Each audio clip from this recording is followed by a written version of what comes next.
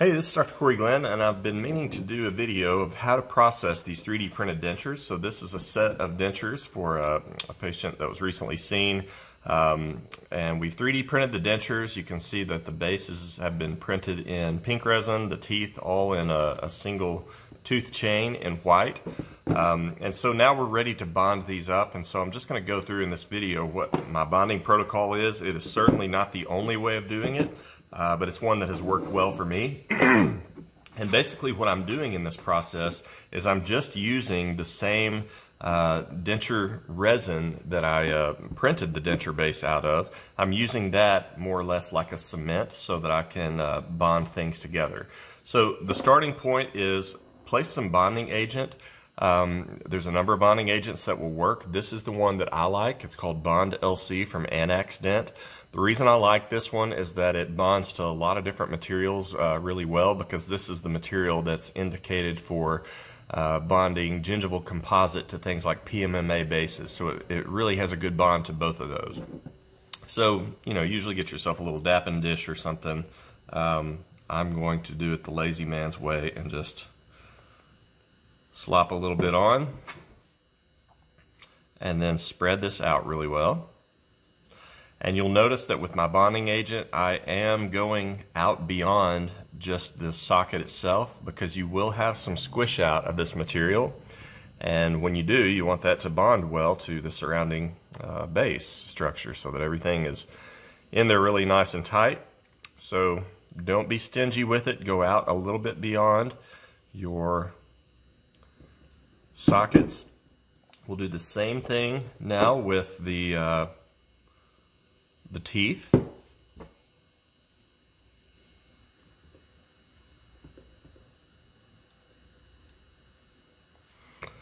And this tends to use a good bit of bonding agent, which is why I usually just do it that way. It's faster. Once again on the teeth, I fully expect that there will be some overrun and this will go up on the facial and lingual and definitely the interproximal surfaces. So use enough that you get around to all of those surfaces. Once you've done that, you need to cure this, and you know this is a, a slow process if you have to sit here with a, a, tiny little curing light and tack every one of those teeth from multiple surfaces for 10 seconds. Um, this is a light that I just got off of, I think it was off Amazon. 50 bucks uh, for this, but one of the unique things it came with, I wasn't even expecting, was this tip for, it's supposed to be for uh, whitening your teeth, but I found that it's really useful for just covering broad areas at once. So we can really spread this out over a, a broad region when we're doing things like dentures and there's lots of spaces to cure. So I'm going to come in here from the occlusal. I'm going to do 10 seconds um, basically on each quadrant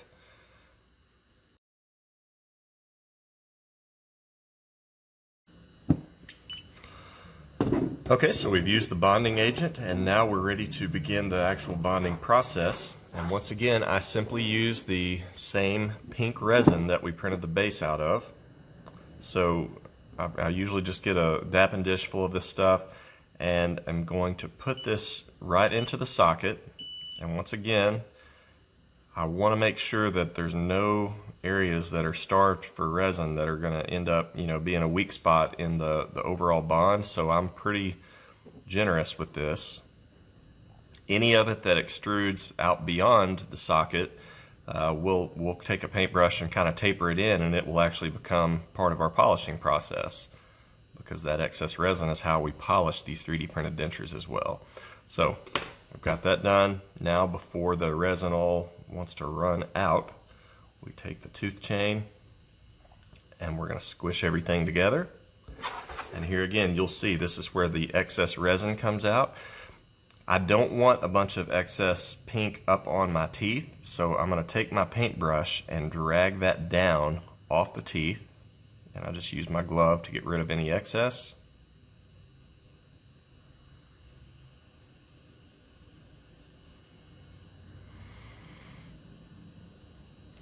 Now this can be where it's useful. I don't want to have to sit here and hold this thing sandwiched together really tight to uh, keep everything in place. This is where it can be useful to go back to your small tip And once you get an area the way you like it, just go in and do a quick tack of that small area to keep everything held together.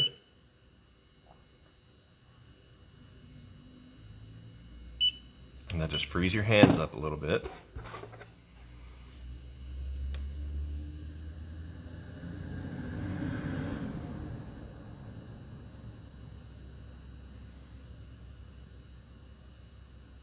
So I'm in particular going interproximal and dragging all of that excess out.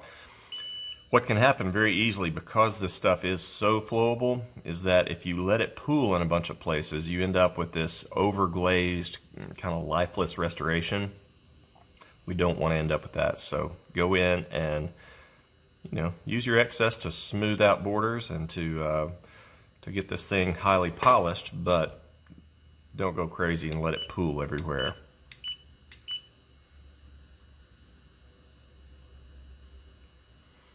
So I'm not trying to do a 100% cure right now. I'm basically just trying to tack buccal surfaces to free up my hands so that I can quit having to hold this thing together.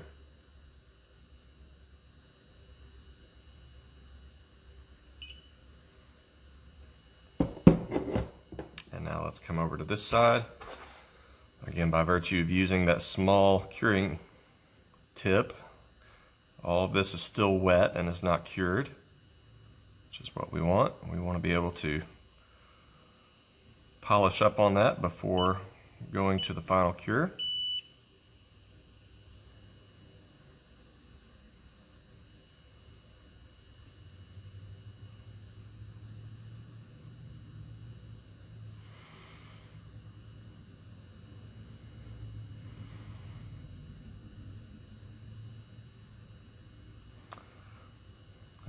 Black fleck. One of the things you'll find when you do these 3D printed dentures is any little speck of dust you have in your work area, I can about guarantee you is going to find your, its way into your denture surface. So work with gloves, work on a clean surface, um, and hopefully avoid any of those issues. Alright, so my buccal surfaces are tacked in. I'm going to just kind of briefly hit all of this buccal surface where we've run the excess um, to polish it.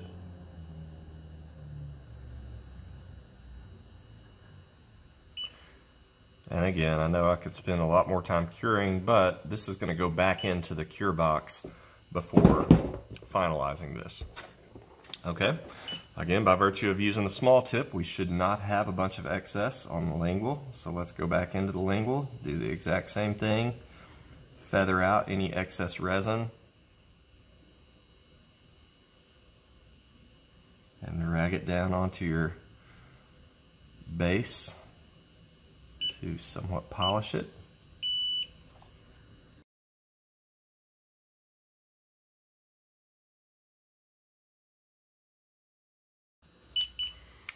Okay, so the teeth are now bonded in.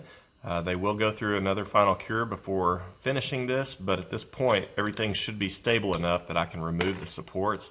Don't remove your supports until this part though, because if you've removed your supports uh, before this, then you're gonna be dealing with individual teeth, which makes them so much harder to handle. So wait until your teeth are bonded in to go and do that. All right, that's looking nice. Now, look at your teeth really well you can now polish your teeth. Now, it's my recommendation to not do any polishing or adding of material on your occlusal surfaces because there's just no way to avoid it pooling up and just turning your anatomy into just a smooth piece of glass as it'll decrease the patient's chewing efficiency. So my recommendation would be to only do this on the facial surface. And I'm also really, I try to make an effort to not get interproximal very much because once again I want to avoid pooling.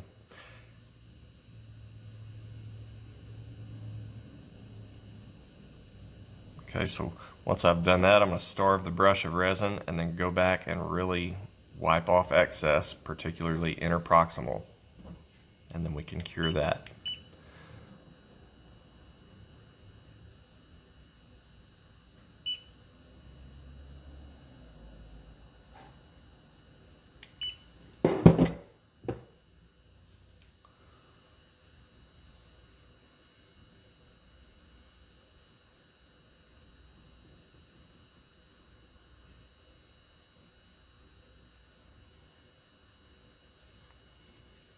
Wipe off the excess, feather it out, and cure it.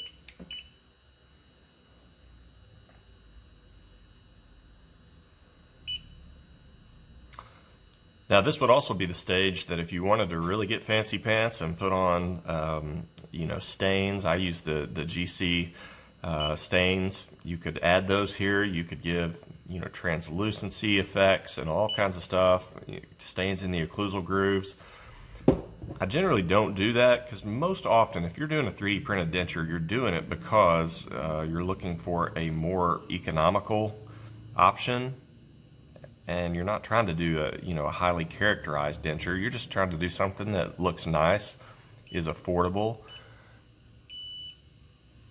and that gets the patient some teeth.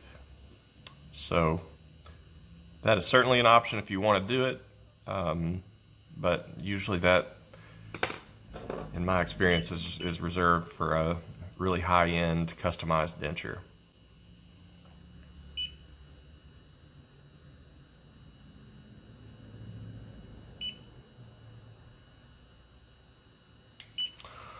All right. Now, we could remove the base. This would be easier if I had some snippers. All right, so we've twisted that off, that out of my resin.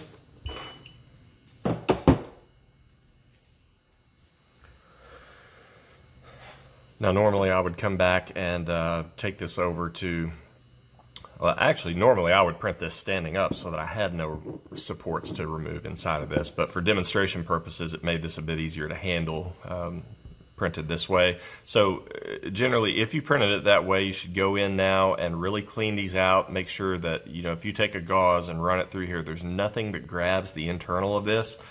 Let's pretend I've done that.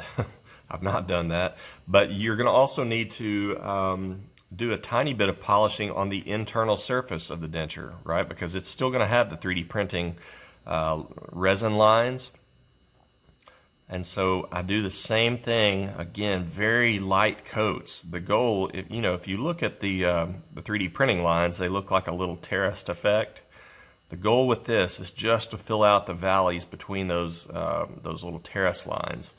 So super thin, and then cure it quick before any of it has time to pool.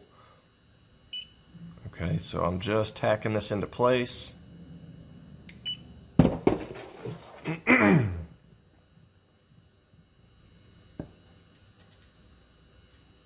I suppose if this was a short-term denture, you can skip this step. Um, or if it's just a backup denture.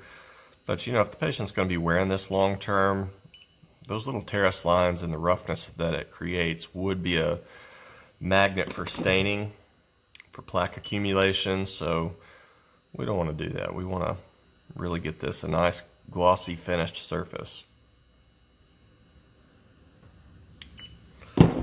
All right, now the last thing I would do is with this cured, I would really look my denture over, get it clean, had some broken supports there on it, and any remaining rough spots that you see, this is the time to add just a bit more gloss coat. I'm staying off of the teeth. And now I'm going to go back to my really wide tip.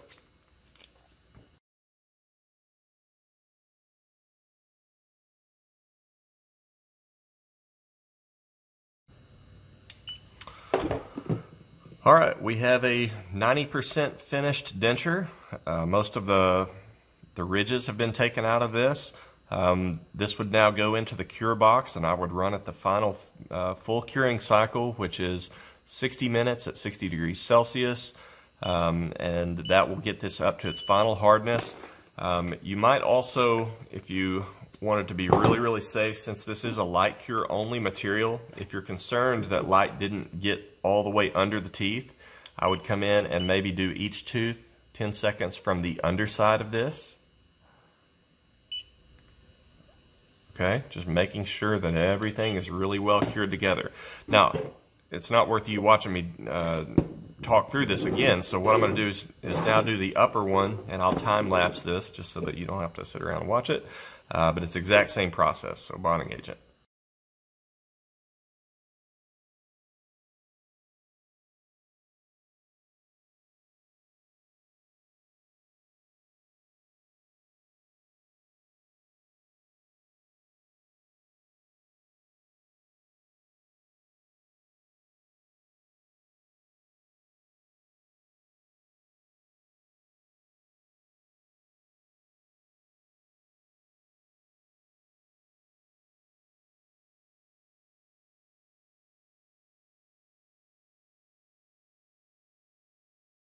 Okay, having trouble breaking off that top. But in essence, you can see, uh, you know, how this thing has turned out. Still need to cut off a few little sprues, uh, like right there. But this is the, the final dentures. They just need to go into the uh, cure box for their, their final overall cure. And then the last thing I would do once that has been done is that um, I, actually, after it's run about 30 minutes, I would take some uh, glycerin, some KY jelly, something like that, and put it all over this uh, to cover the um, oxygen inhibited layer.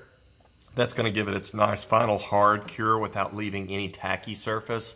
And then the last thing I would do is once all that comes out, I'd take it all off and uh, you could either pumice it with a really, really fine pumice, being careful not to overdo it and uh, destroy your anatomy. Uh, something else that works really well is just to get a small dish and put some mineral oil and really fine pumice in it and you can just pumice that out with a Robinson brush or a rag wheel. Um, that works really well as uh, well. So that's uh, my overall process for doing 3D printed dentures. And you know, personally, it, it may be monolithic in color, but once you've got this, um, I think they're a really nice looking denture. Most people in my experience want toilet bowl white anyway. And this is, uh, this is pretty much that. And uh, the fit is excellent with these because there's no shrinkage like there is in heat process dentures. So I really think this is a, a, great option. And then if you want to dress it up even further, there's always the gingival composites. I use the anaxgum composites, so there's flowables. Um, you can even buy them in the big gun cartridges like this. And you can get as fancy with these as you want. I mean, you literally can make this thing look like a top-notch uh, denture that uh, just would almost fool you for natural teeth. Um, again, it's just a matter of how much time and effort you want to put into it. But that's basically the end of this, so I'm going to go throw these into the cure box.